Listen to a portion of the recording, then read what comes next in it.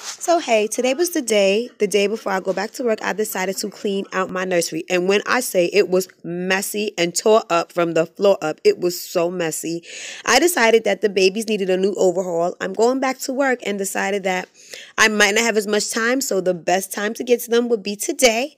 So I cleaned them out, moved them around, put on new outfits, and some of the babies gave me a hard time with the outfits. I mean, I just couldn't find outfits that were cute enough for my babies. But at the end of the day, yes, we worked it out and we had a lot of fun. So, on that note, I will talk to you guys later. I don't know when I'll be back because I will be pretty busy, but hopefully, I'll be back sooner than the later.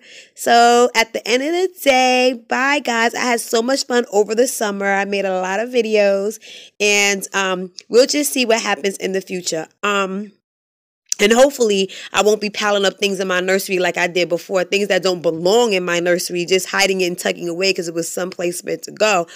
But hopefully, I won't do that again, and my nursery will stay much cleaner. Talk to you later.